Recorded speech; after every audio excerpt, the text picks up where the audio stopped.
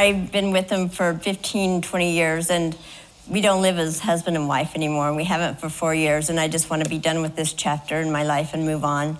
So you say it's been done and all that's left to do is the paperwork. Correct, yes. Well, Mr. Grimes, Ms. Cole says that for the last 15 years you all have been together, but for the last four or five years, not so much. Yes, Your Honor. So, what would you say to her allegations that it's time to just stick a fork in it because it's done?